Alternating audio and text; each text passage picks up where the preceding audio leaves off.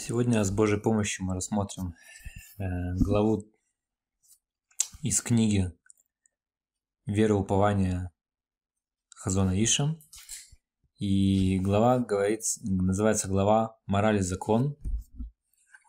И в прошлый раз мы читали про упование, было очень интересно. Теперь почитаем про другие рассуждения Хазона Иша, великого мудреца Торы. Эм, а Иш э, говорят, что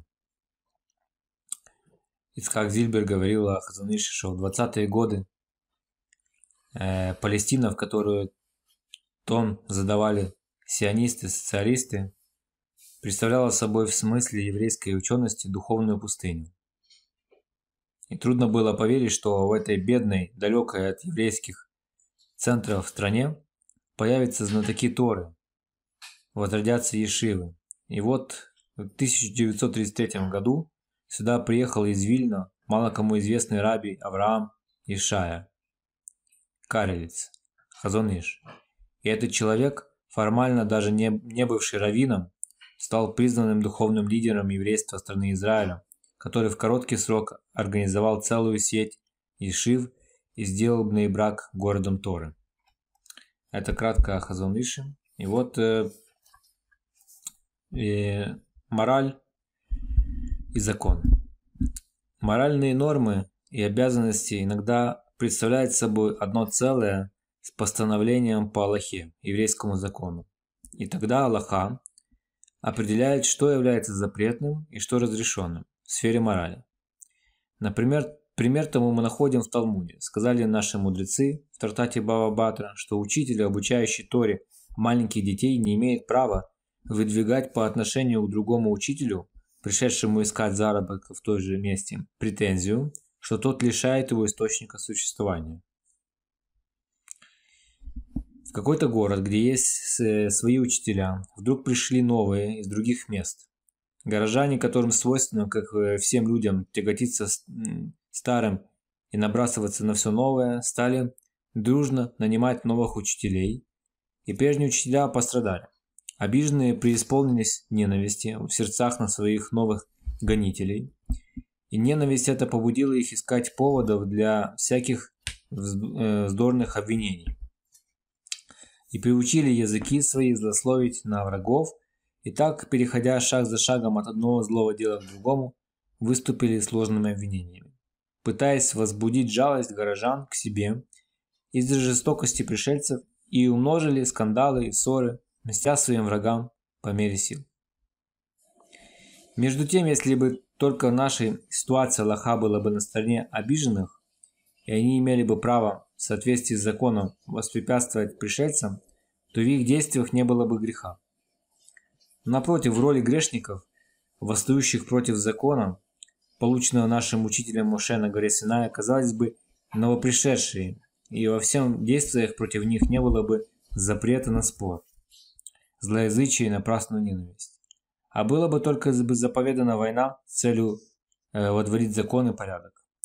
Но на самом деле, поскольку Аллаха постановила, что соперничество мудрецов Торы умножит мудрость, и этот принцип приоритетней, чем защита источников пропитания частных лиц, то оказывается, что новопришедшие действовали по закону, а те, кто поднялись на борьбу с ними, проливают невинную кровь, и тем, что ненавидят невиновных, приступает запрет не ненавидеть брата своего, а когда говорят о них плохое, приступает запрет злоязычия. Когда собираются против них собрания, приступает запрет поступать как корох. А когда мстят им и воздерживается от того, чтобы делать им добро, приступает запрет мщения. И когда постановили наши мудрецы в Талмуде, в соответствии со сказанным там же, согласился Рав Уна, что учителю, обучающему Торе маленьких детей, нельзя препятствовать, когда он приходит туда, где уже есть учителя, то это постановление включает в себя еще много других законов и правил морали, которые из него вытекают. Требование морали обязывает каждого человека насадить и взрастить в своем сердце привычку следовать важнейшему принципу Всегда, когда сталкивает нас с этим жизнь, взвешивает на точных весах Аллахи. кто в данном случае преследуемый и кто преследователь. Известно, что мораль Торы приучает нас любить и жалеть преследуемого и сурово осуждать преследователя. Если это так, то сколько, сколько же велика и страшна опасность быть среди тех, кто путает и подменяет преследователя преследуемым, а преследуемого преследователем. И найти истину мы можем только в книгах авторитетов по Аллахе, наследии наших мудрецов, благословенная их память. Но если кто-то не утвердил в своем сердце этой основы взвешивать каждую ситуацию на точных весах Аллахи, то не помогут и долгие годы учебы и великие усилия по совершению э, нравственных качеств, ибо при встрече его со всякой сложной, задевающей за живое жизненной ситуации при столкновении с ближним, он наверняка рассудит дело в соответствии со своим природными склонностями. И даже если они сами по себе уже совершенны и исправлены, тем не менее во многих случаях они не будут соответствовать установленному Аллахи, данным с небес. Если основы суждения его по этому делу будут искажены, то также и все результаты этих суждений неизбежно будут вредоносными и чуждыми истине.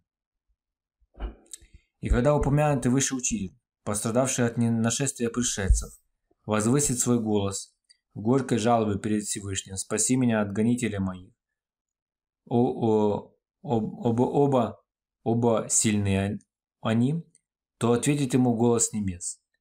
Ты подобен тому, кто делает дела Зимры, а просит награду Пинхаса. А поступки Пинхаса написано в Бемидбаре. Разве не ты сам преследователь? Это ты трактуешь Тору произвольно. Разве не установлено уже в устной Торе, что когда приходит новый учитель, ему нельзя препятствовать?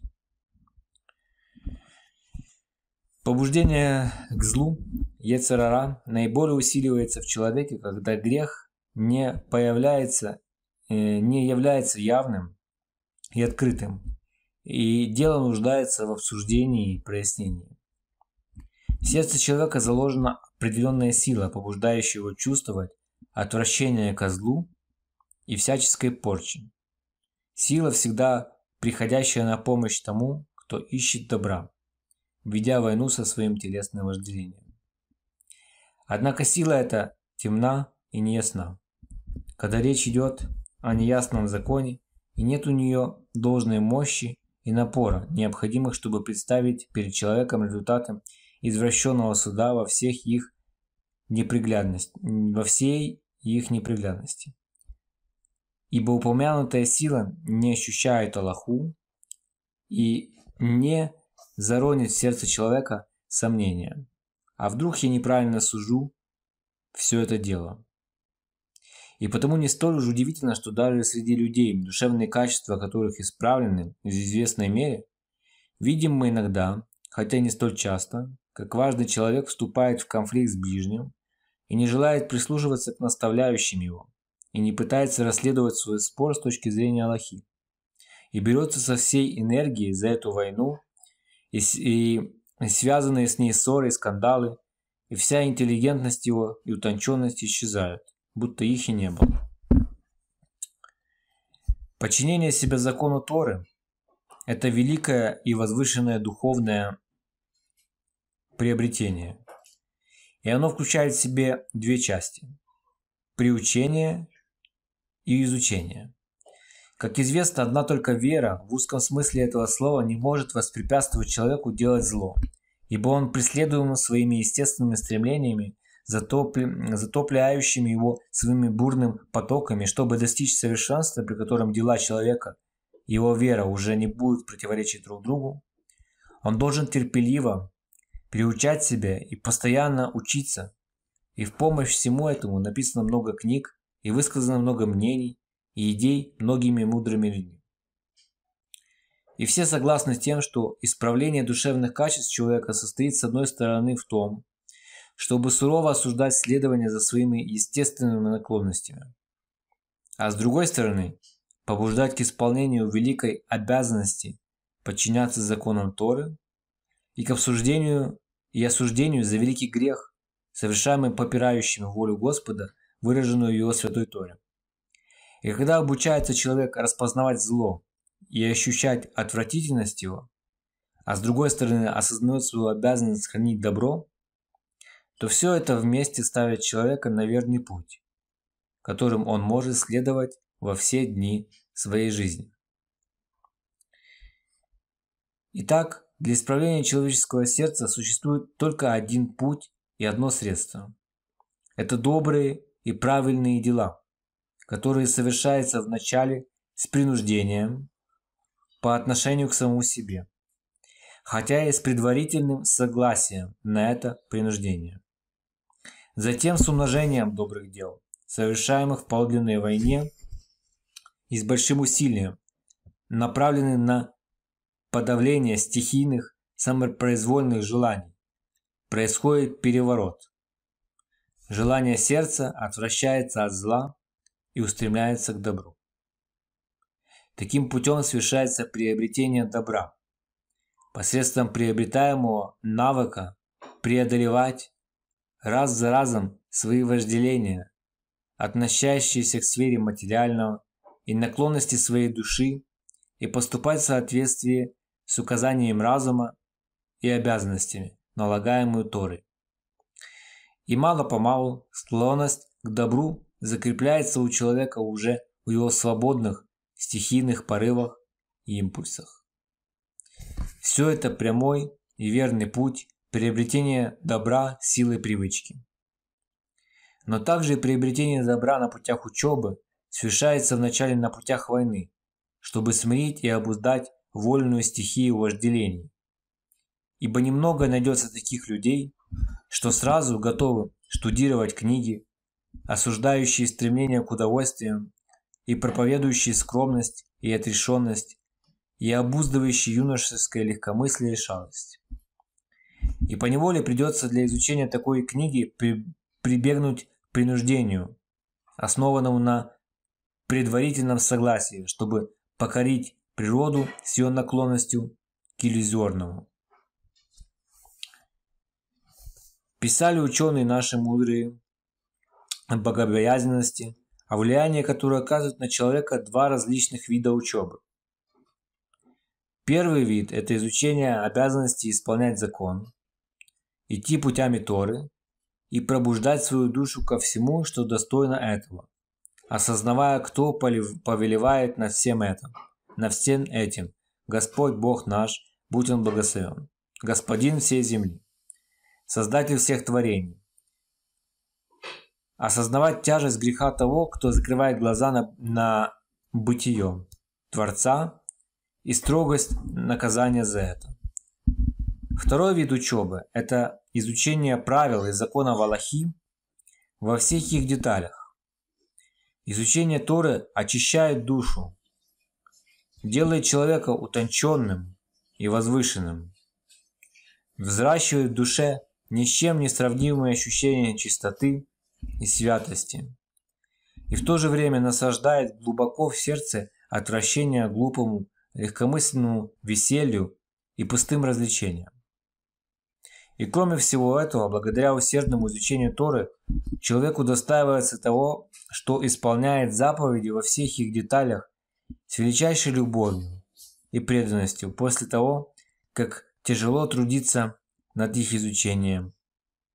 И внутренний голос, исходящий из тайников чистой души, подсказывает, что для этого он и был сотворен, как говорил об этом раби Йохан бен Закай, как написано в Перкее вот.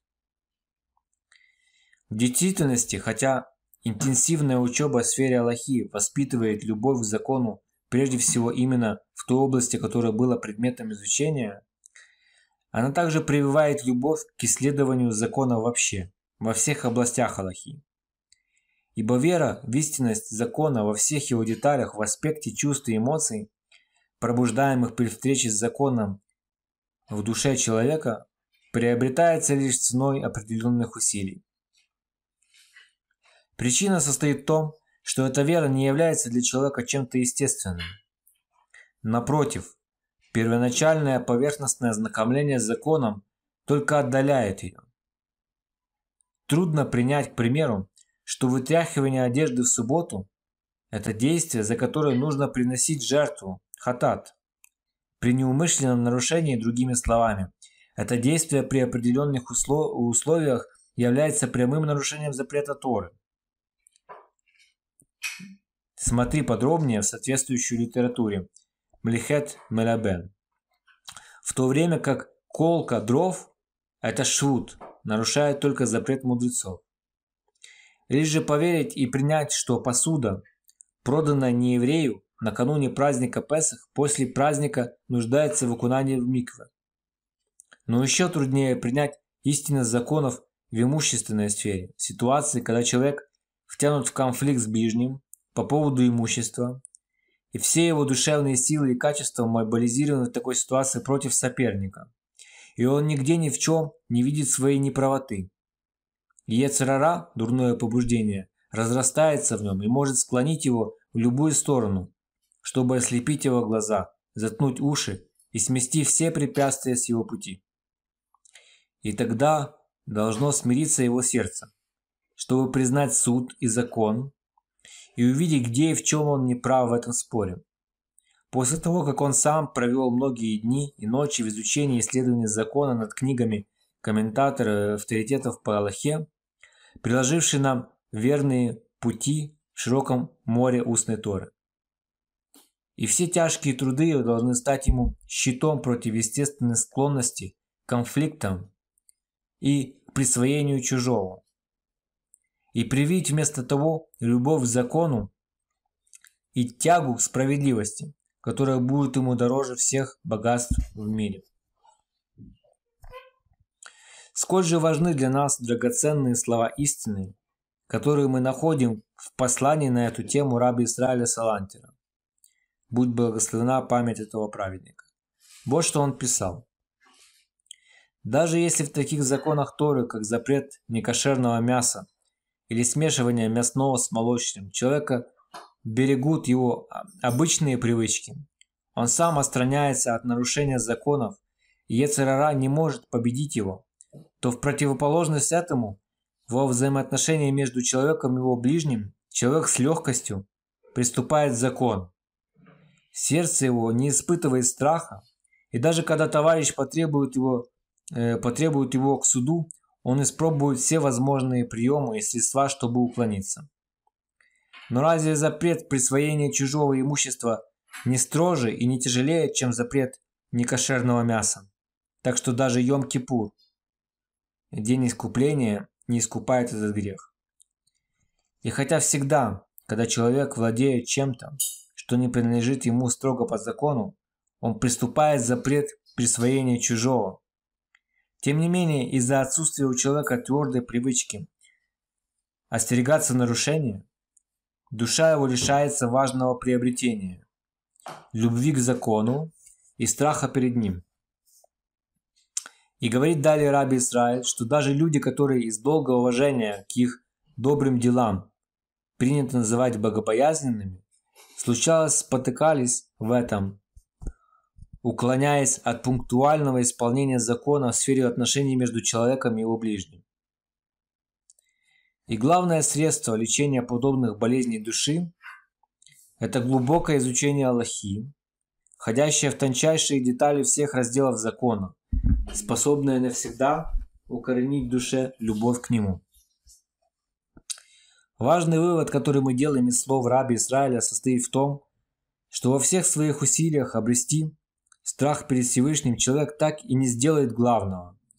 И оно так и останется недостающим в его душе, если он не потрудится хорошо над детальным и глубоким изучением Хошен Мишпат, раздел Шульхана Руха, посвященный имущественным законам. Быстр, э, быстрое же и поверхностное изучение не приводит к желаемому любви к закону и преданности ему. Глубокое изучение законов до полного их прояснения во всех их разветвлениях – это многолетний труд, требующий величайшего усердия. И исключительность его связана с исключительностью и уникальностью постановленной цели, поставленной цели, знания всей Торы и благословенной памяти наши мудрецы не желали слов на эту тему поясняя, что указанные великой цели не достичь усилиями непостоянными и незначительными. И говорили, что приобретение Торы включает в себя 48 отдельных приобретений. Смотри Перкея вот. И каждая из них – это выход за рамки естественного, за рамки всех привычных обычных человеческой личности, обычной человеческой личности. Чтобы достичь этого, необходимо вступить на путь совершенства, так чтобы природа и естество человека уже не были помехой и усилием в учебе и преданности ей. И ради этого не даст он сна глазам своим и дремы векам. Благословенная памяти наши мудрецы превозносили важность правосудия Торы. Так в Талмуде сказано, когда судья творит истинный и справедливый суд между человеком и его ближним, то даже если он занимается этим короткое время, ставит это ему Тора в заслугу так, как будто он был соучастником Всевышнего в деле творения мира. Ибо справедливый суд является условием существования всего мира.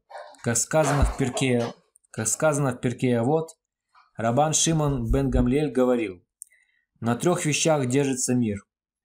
На правосудии, истине и мире.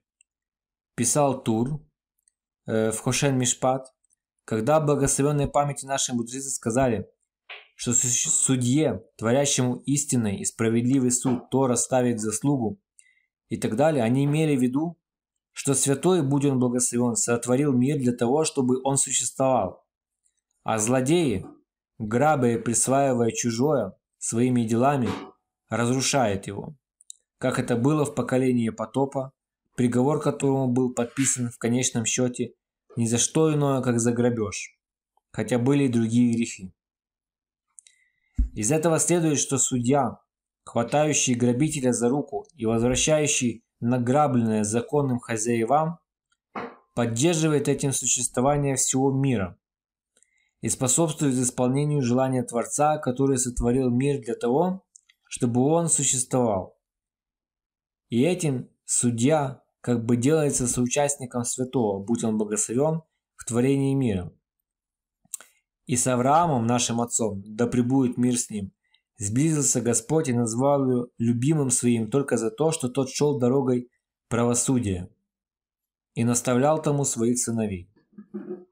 И наш учитель Моше, мир ему, отец всех пророков, принял совет Итро о назначении судей, чтобы они предстерегали еврейский народ и наставляли его в правосудии.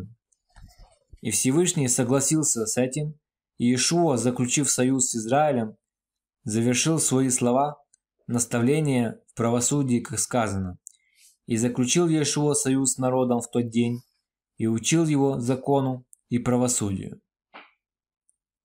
В схеме. И все это потому, что закон и правосудие – важнейшая основа служения Господу. И далее продолжает нам Тур на ту же тему.